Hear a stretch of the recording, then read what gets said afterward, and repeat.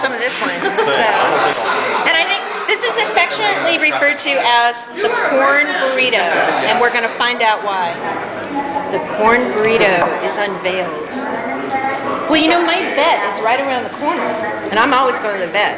And I never knew this place was here, so now, you know, I'm gonna take the, I'm gonna take the dogs in. I'm coming. It's um, meat, beans, rice, uh, um, salsa, cheese, guacamole, um, onion, cilantro, and also lettuce and sour cream. But I got it without lettuce and sour cream. That's great. I'm so glad they're right there. So no, I